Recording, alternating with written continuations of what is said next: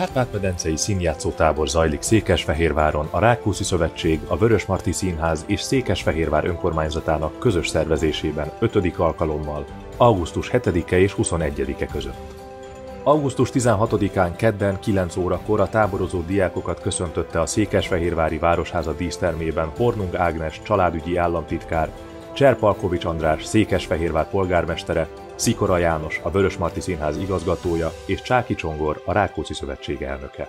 Kívánom nektek, hogy amit itt tanultok, amit itt tapasztaltok, azt vigyétek el a szívetekben, vigyetek el mindazt, amit itt a városban tapasztaltok, azt, amit a, a felnőtt színészektől láttok. A színjátszó táborba két tucat erdélyi és felvidéki diák érkezett olyan középiskolákból, ahol a színjátszásnak nagy hagyományai vannak. Az, hogy nem csak magyarországi szereplők, hanem külhoni diákok is szerepelnek ezekben a darabokban, ez még inkább egyé teszi a nemzetet, és még inkább sújtott annak, hogy egy ilyen fantasztikus előadást láthatunk meg. A táborozó diákok részesei a harmadik András az utolsó Aranyágacska című koronázási szertartásjáték próbáinak és előadásainak Szent István ünnepén a város főterén. Maga a tábornak a lényege az, hogy ők a próba folyamatban, és aztán pedig az előadásokon is részesei a szertartásjátéknak.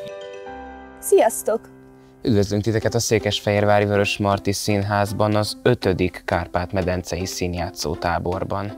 Mi Nagyváradról érkeztünk, és első alkalommal vagyunk itt. Hát akkor lessünk be egy kicsit a kulisszák mögé. Most a fodrászaton vagyunk, hogy a hajunkat megcsináljuk több lányjal. Elmegyünk az első emeleten, ahol a mi VIP öltözőnk van.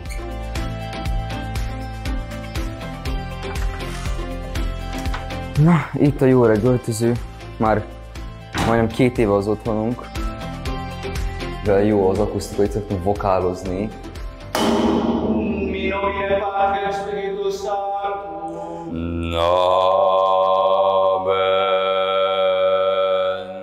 Egy sorom van az, hogy Erzsébet, én Krisztus jegyese vagyok, és írtózom, hogy az apád ágyába feküdjön.